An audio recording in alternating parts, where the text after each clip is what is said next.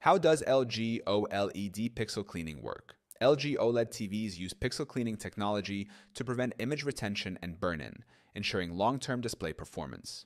This feature automatically refreshes and optimizes individual pixels by running maintenance cycles at regular intervals. 1.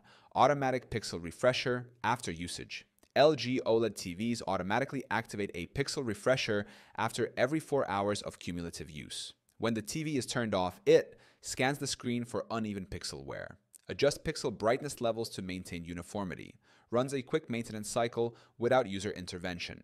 This process ensures that no single pixel degrades faster than others, reducing the risk of image retention.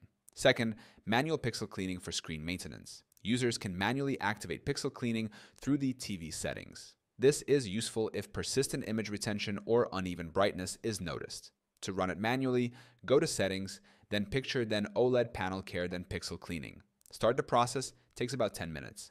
Leave the TV off while it completes the cycle. This deeper cleaning cycle helps reset pixel brightness levels across the screen. Third screen shift and logo dimming features. LG OLED TVs also include screen shift and logo dimming to prevent static image burn-in. Screen shift moves pixels slightly over time, making static images less likely to leave marks. Logo dimming automatically reduces brightness in stationary logos or HUD elements found in news channels and video games. 4. How often should pixel cleaning be used? Automatic pixel refresher runs on its own after extended use. Manual pixel cleaning should only be used if noticeable image retention occurs. Avoid excessive manual activation as it's not needed frequently. LG OLED.